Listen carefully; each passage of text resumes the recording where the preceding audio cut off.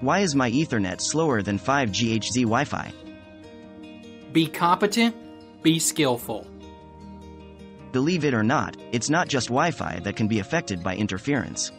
Ethernet is affected, too, to a smaller degree. Interference from sources like microwave ovens or fluorescent lights can affect a connection.